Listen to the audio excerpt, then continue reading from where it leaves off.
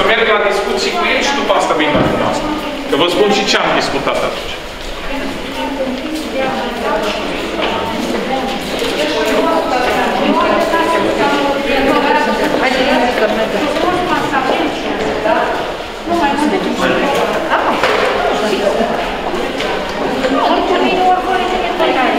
S-a întâmplat să fiu la Suceava la o acțiune unde am fost invitat am avut o întâlnire acolo și cu colegii de la ISU, de la UCU, de la ambulanță și fiind foarte aproape de Botoșan, am hotărât să ajung și aici și să văd uh, noua unitate de primiri urgență și să am o discuție și cu colegii de la UPU Botoșan și de la Ambulanța Botoșan. În primul rând vreau să spun că am văzut o unitate de primiri urgență modernă. Nu pot decât să felicit autoritățile județene care au realizat-o și colegii care lucrează în această unitate. Acum, clar, diferența este de la cer la pământ între ce a fost și ce este. Dar, cert, așa cum știm cu toții, încă mai este nevoie de ceva în plus și asta este resursa umană. Deci toată discuția noastră s-a axat mai mult pe acest aspect, cum să atragă medici. Am găsit un medic care e venit din Iași și e angajat aici acum recent.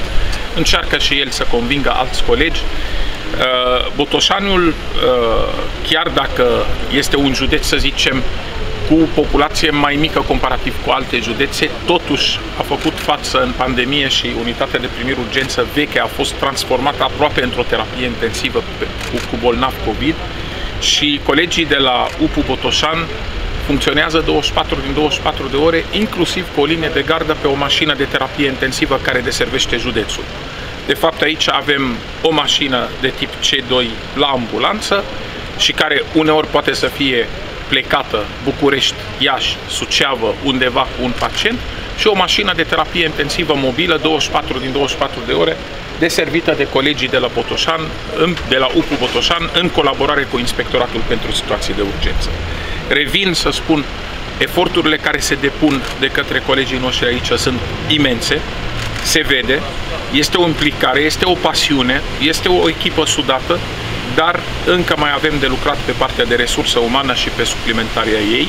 Și încă un aspect care s-a discutat este deschiderea compartimentului de primiri urgență la Dorohoi, unde există solicitare în acest sens și asta dacă se deschide și asigură toate aspectele necesare unui compartiment de primiri urgență, adică să aibă investigații radiologice, să aibă posibilitatea de analize de laborator, atunci, într-adevăr, ar putea degreva uh, unitatea de primiri urgență din Botoșan de un număr de pacienți care nu trebuie să ajungă neapărat aici și pot fi rezolvați la nivelul unui compartiment de primiri urgență la Dorohoi.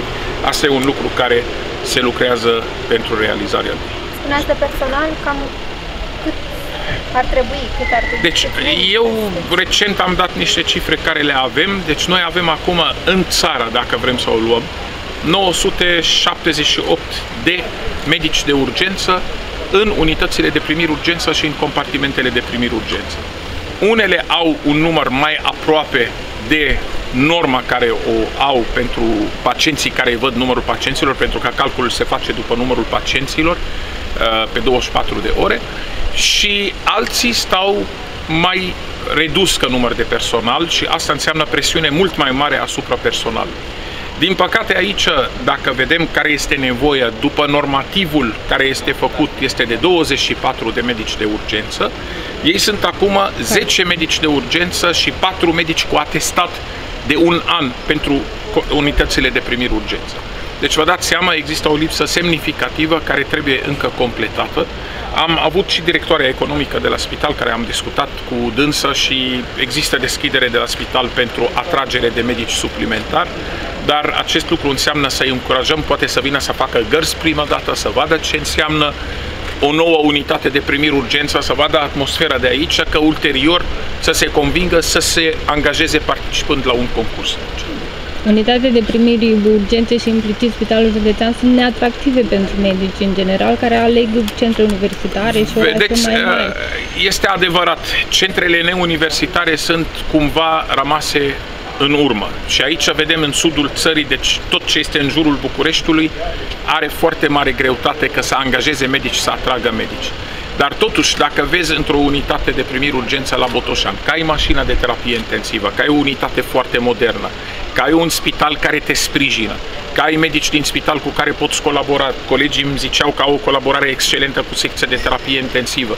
Atunci devine un loc atractiv de lucru. Poate că aici trebuie și autoritatea locală să se implice mai mult și înțeleg că există astfel de abordare de a asigura un apartament, de a asigura locuință, mai ales pentru un medic nou specialist tânăr care are nevoie de așa ceva. Deci prin infrastructura medicală și nu numai am putea convinge noi medici să mă aleagă și Botoșani. Să știți că medicii plecau din țară din două motive.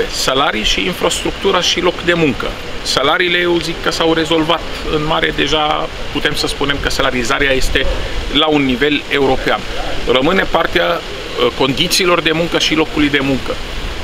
Dacă am avea destui medici în UPU, nu s-ar mai, nu s-ar mai plânge nimeni de faptul că UPU este o unitate grea, pentru că atunci ar face doar programul lor de lucru, poate o gardă sau două în plus și gata. Lipsa de medici face că cei care există să aibă ore suplimentare sau gărzi, cum zicem noi, în plus. Așa că soluția că să ai o unitate de primiri urgență atractivă este să ai destul personal. Și acest lucru consider că este un, un, un aspect care trebuie să ținem la el și să înțelegem că unitățile de primiri urgență sunt locul unde trebuie să lucreze medicii care termină cu rezidențiat medicină de urgență. În faza asta trebuie să-i concentrăm acolo și încă mai avem nevoie mare, adică acum avem 978 și nevoia reală poate să chiar depășește 2000 de medici. Deci încă este nevoie de a aduce generații și mai e un aspect Uh, generațiile care s-au angajat acum 20-30 de ani și care au terminat specialitatea prin începuturile anilor 90, deja ajung la pensie. Deci noi acum nu numai că trebuie să suplimentăm, trebuie și să înlocuim pe cei care ajung la pensie. Și mai avem o problemă care uh, este suspendată acum și va trebui corectată înainte să intre în vigoare la sfârșitul anului, legea care a aprobat pensionarea forțată la 57 de ani și care după asta din an în an trebuie să solicit să rămâi, unde ideea inițială era posibilitatea de a cere să ieși la pensionare dacă vrei, dar în niciun caz nu să fii forțat la pensionare. Și asta din fericire e suspendată acum și sper că să corectăm și să analizăm realmente impactul înainte să intre în vigoare anul viitor și să operăm modificările necesare asupra ei. Pe partea de bă, situații de urgență, înțeleg că ați avut discuții în birou domnului prefect bă, Sorin Cornel, s-a discutat despre suplimentarea de bă, noi autospeciale pentru ISU, dar și soluții pentru micșorarea timpurilor de bă, Așa este. Acțiune. Deci sunt două proiecte